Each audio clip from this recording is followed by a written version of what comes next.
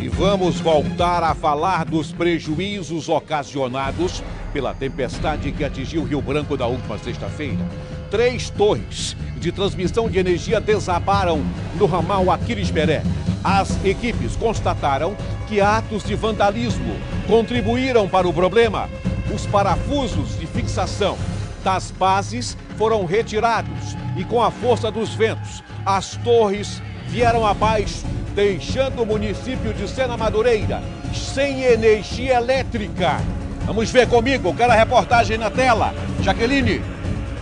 Nós estamos aqui no ramal Aquiles Peré, perto da estrada de Irineu Serra, onde caiu três torres da Eletrobras. Essas torres são as é responsáveis para mandar energia para o município de Sena Madureira, devido ao forte vendaval que aconteceu na tarde de hoje e prática de vandalismo nessas torres, as torres foram abaixo, ocasionando esse sério problema lá em Sena Madureira.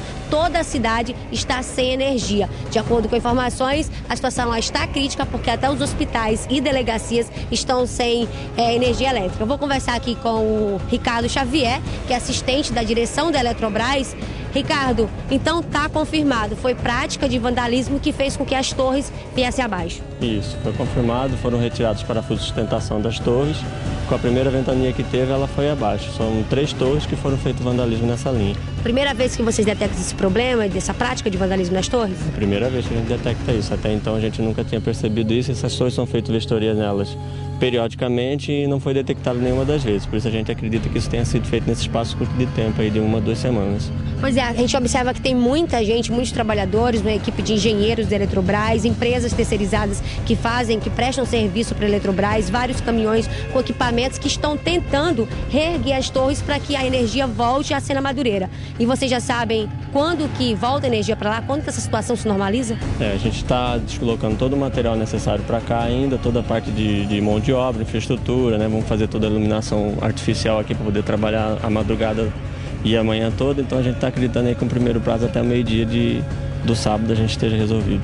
A gente observa que as torres não são tão longe uma das outras. E se essa prática de vandalismo tivesse acontecido em outras torres também, poderia ter acontecido também o efeito dominó e as várias torres caírem. Com certeza, com certeza. Se você, você danifica uma torre e tira a sustentação das outras, a partir que uma cai, o cabo ele é muito forte, ele não vai arrebentar e as outras torres vão vir abaixo junto com ele. Obrigada, Ricardo. A gente vai tentar aqui chegar perto das torres para vocês verem como que está a situação.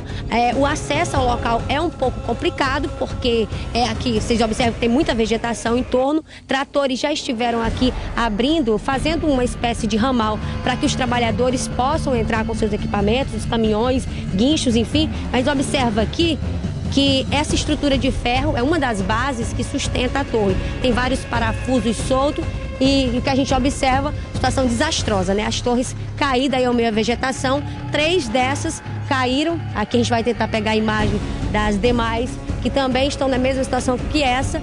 E de acordo com informações aí da Eletrobras, eles vão usar aí todos os esforços, cerca de 50 homens estarão trabalhando para até meio-dia de domingo a situação em Sena Madureira volte a se normalizar.